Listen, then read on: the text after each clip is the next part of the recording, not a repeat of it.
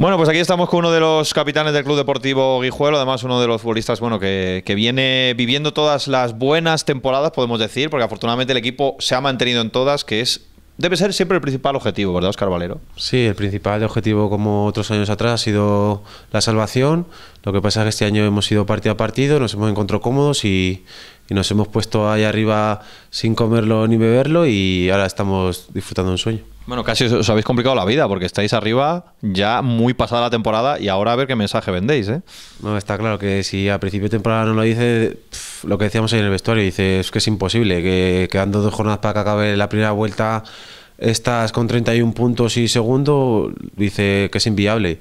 Y ahora pues seguir partido a partido, intentar lograr los 42 puntos de la salvación matemáticamente y luego, lo que te digo, partido a partido, seguir disfrutando de todo y llegar con opción a las últimas seis jornadas y ya pues intentar por ese objetivo. Bueno, lo del partido al partido lo repites tanto porque el Atlético de Madrid le va bien también y en primera y a ver si... Si es que la verdad yo me veo un espejo casi como el Atlético de Madrid porque somos 11 currantes, luego los que salen también curran igual, vamos partido a partido, el Atlético también lo dice y al final...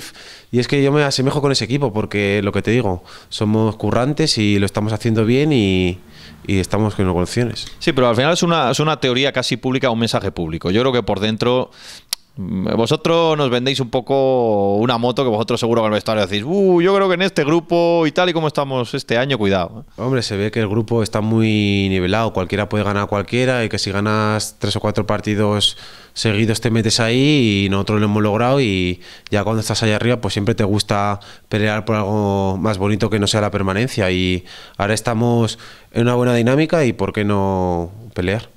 Habéis superado ya eh, la puntuación de la temporada de Idiáquez, que era la mejor en la historia del club, es decir, tenéis la mejor puntuación en la historia del club en la primera vuelta, hagáis lo que hagáis frente al caudal.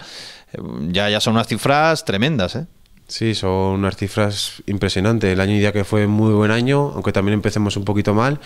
Y este año pues hemos superado y estamos ya mentalizados para el, sábado, perdón, ganar al caudal, que va a ser un partido bonito y sobre todo quitarnos la espinita de ayer, que no pudo ser, y, sumar tres puntitos más que nos vienen muy bien. Bueno, lo de currar es, eh, es evidente que curráis, pero solo con eso vale.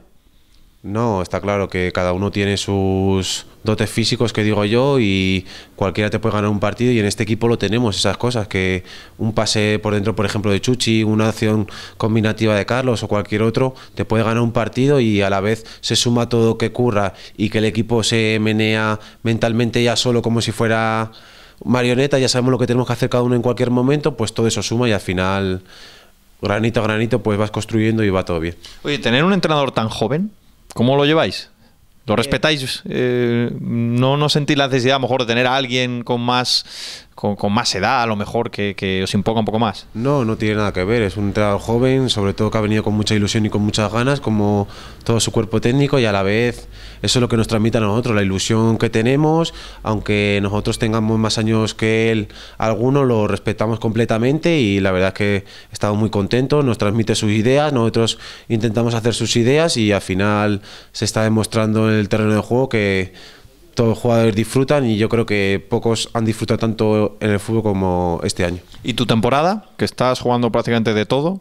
Bueno, personalmente estoy contento, sobre todo estoy a gusto y estoy disfrutando del fútbol que hasta hace 6 o 7 años que jugué en Primera División no disfrutaba tanto del fútbol. Estaba en Segunda B, sí, pero los equipos que estaban no jugaban tanto al fútbol, era más pelotazo, más competir y este año estoy disfrutando y lo que digo yo, es como si entrenara con mis niños, que me divirtiera cada día y, y al final cuando tú disfrutas, la mente la tienes despejada, sabes que lo vas a hacer bien y que vas a disfrutar y, y que vas a conseguir el objetivo. Bueno, tú eres casi un guijuelense más ya, casi. Estás muy afincado aquí, también en el club trabajando para el club, es decir, que ya eres uno más casi aquí. Sí, la verdad es que me encuentro muy cómodo, llevo tres años aquí, me han tratado espectacular, todo el mundo, y ahora estoy de coordinador de la base también, porque también me encantan los niños que disfruten y enseñarles lo que yo sé con varios compañeros y al final cuando en un sitio te tratan bien y estás a gusto, mejor no menearte porque para irte a otro sitio que igual estás más a disgusto no merece la pena. Que por cierto la base también va muy bien, ¿eh? Sí, la verdad es que estamos muy contentos con los equipos de la base, los niños están muy contentos, también tenemos entrenadores del primer plantel y al final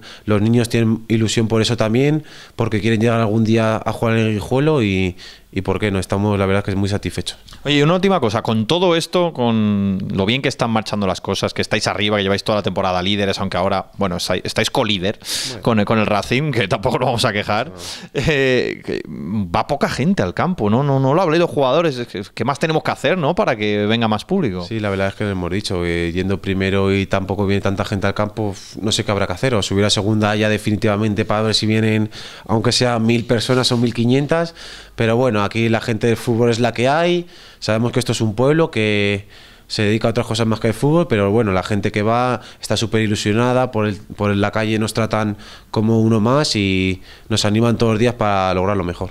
Bueno, pues nos vamos a quedar con esa frase. Si hay que, si para meter mi persona hay que subir a segunda, pues nada, se sube y ya está. No, pues no hay problema, ¿no? Bueno, bueno, hay que tener los pies en el suelo y tampoco volvernos locos y lo que te digo, partido a partido. Pues nada, con esa filosofía nos quedamos. Gracias, Oscar. A vosotros. Bueno, Oscar Valero, uno de los capitanes del Club Deportivo Guijuelo.